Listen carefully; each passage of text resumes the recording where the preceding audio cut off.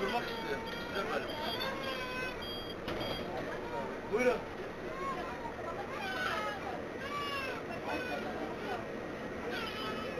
Şimdi hastaneye götürsün. Hastaneye götürelim. Geç geç geç.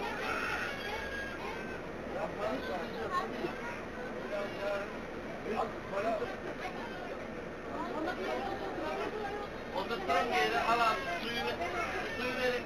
Suyu verin.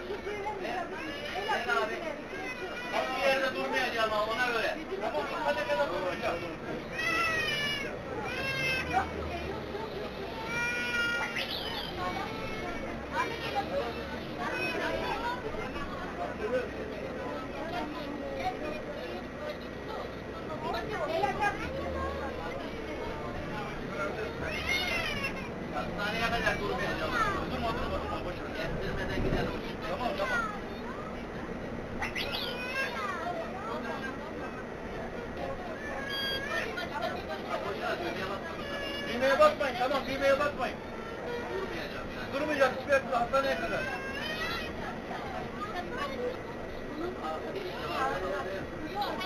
Ya. Getir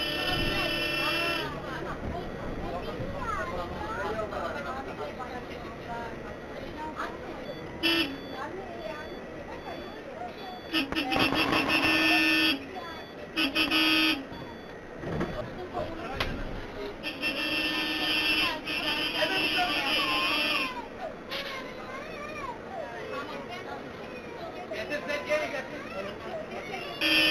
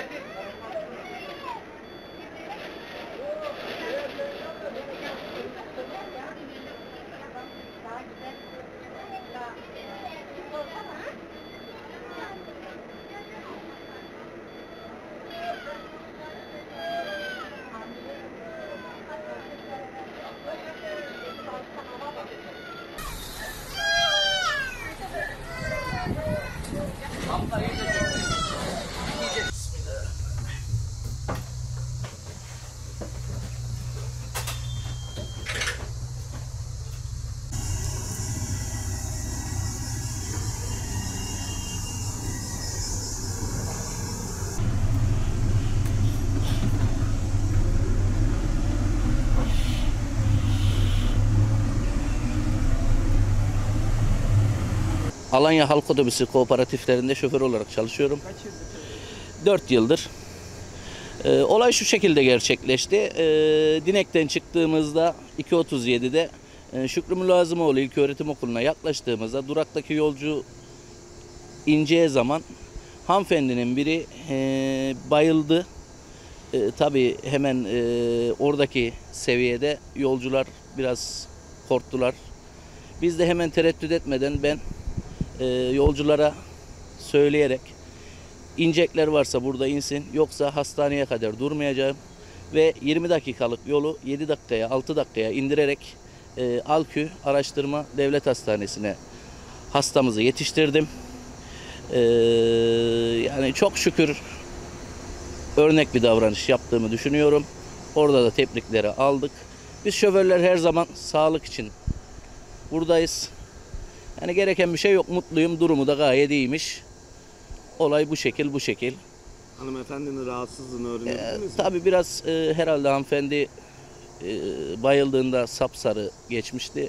Bir de herhalde yüklüymüş. Yani hamileymiş. O şekilde annesi falan söyledi. Teşekkürlerini ilettiler. Buyurun başkanım. Şimdi söz konusu olayla ilgili şoförümüzün yapmış olduğu davranış çok e, güzel bir davranış. E, aslında bizim şoförlerimiz gerçekten e, duygusal insanlardır. Çok iyi işler, hizmetler yaptıklarını biz kamera sistemi araçlarımızda olduğu için görüyoruz, biliyoruz. Ha, bazı konularda binde bir hatalı davranışları da oluyor.